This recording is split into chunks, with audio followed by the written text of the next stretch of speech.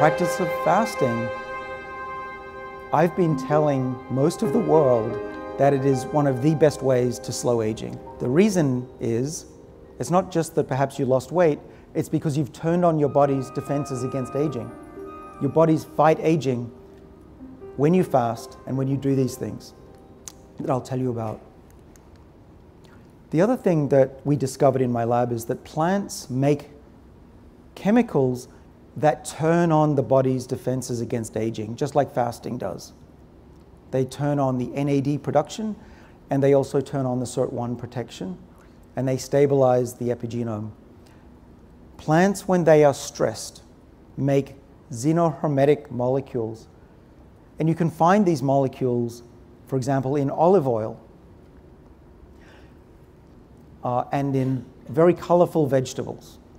When plants experience trouble, adversity, they make these survival molecules that when we eat them, we sense that there's a danger and our bodies fight against aging and disease. So here's one other take home lesson. You want to put your body in adversity mode. Not too much, you don't want to hurt yourself, but today's lifestyle is too easy. Right? Even our suitcases have wheels on them. This is a problem because it tells our body, don't bother fighting aging. Everything's great. Lots of food, we don't need to run. It's all good. We don't even experience a lot of temperature changes anymore. So we need to go back to how we used to live. So what I recommend is not to eat three big meals a day because the body gets used to it, thinks that it doesn't need to survive. Exercise and stretch. The, the reason exercise works is because it makes the body fight against aging. It turns on these protective SIRT1 longevity genes.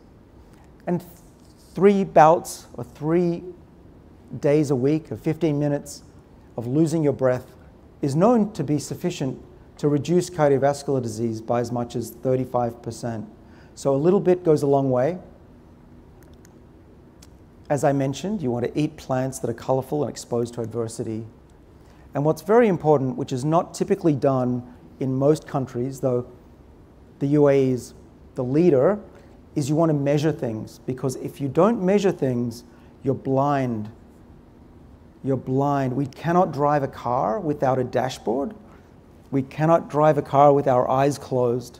So, why do we practice medicine this way? It makes no sense. And so, by measuring myself, uh, I've been able to optimize my own body. So, if there's a few things you can do immediately uh, sugar is a real problem. Sugar will stick, especially glucose, sugar will stick to your proteins, it will bind to your blood proteins, and it's toxic. It causes type 2 diabetes, but it also causes a lot of other diseases. And I think that avoiding a lot of sugar is one of the best things you can do for your children and for yourself. Um, Mediterranean diet, we know that it's healthy, okay, so eat a lot more plants than meat. Avoid red meat if you can. Doesn't hurt if you eat it occasionally. The reason is that if the body has a lot of protein, it may grow fast and you will get muscle slightly quicker, but it will not fight aging. So that's why fasting is good. The body will feel the lack of protein and fight aging. Try not to snack. Let your body rest from food. And if you feel like you need to drink or eat something, have a tea, have a coffee. That's okay. Always be active. Move. I mean, you can see I, I'm moving all the time. I try to. Sitting is as bad as smoking for longevity. So you could get a standing desk if you need to work, walk a little, go upstairs if you can. And maintain your muscle mass, especially for men. We lose about a percent of our muscle mass every year over the age of 40. So I try to eat one main meal a day. I'm not always successful when I'm traveling, for sure. My goal is to try to put most of my calories into six or so hours per day and not always be nibbling on food. Importantly, if you try to do everything I do tomorrow, you will fail, I believe.